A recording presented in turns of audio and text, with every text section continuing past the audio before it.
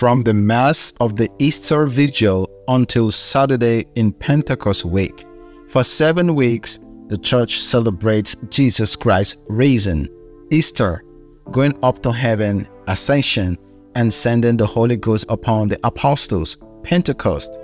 The Easter season is the time of new life, the new life of our Lord, now alive forever, of a life that no longer belongs to the earth and which we will one day share in heaven with Him, and also our own new life. Indeed, we have the certainty of joining Jesus Christ one day in heaven if we are faithful to His grace. Snatched by Him from the power of Satan, we belong to Him as His conquest and we participate in His life. The Easter octave is the week of the newly baptized. They have passed from death to life, from the darkness of sin to the life of grace in the light of Christ.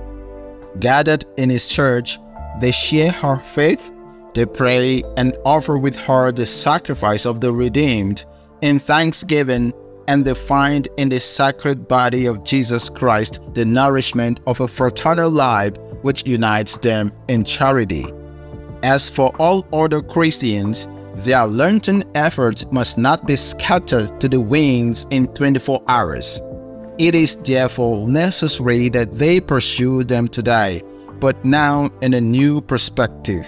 It is no longer question so much of making the old man die away as of living the new life received in baptism. The moral requirements of the new life will be called to mind throughout Eastertide they obey the principle expressed by St. Paul.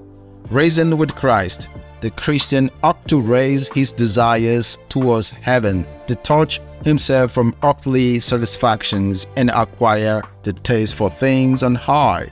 It will be the work of the Holy Ghost to finish forming in those who are baptized the new man who, by the holiness of his life, bears witness to the resurrected Christ. During these 50 days of uninterrupted joy, the Alleluia is continually resounding, attaching its triumphant exaltation to all of the chants. Until Pentecost, we use white vestments, sign of joy and baptismal purity. God bless you.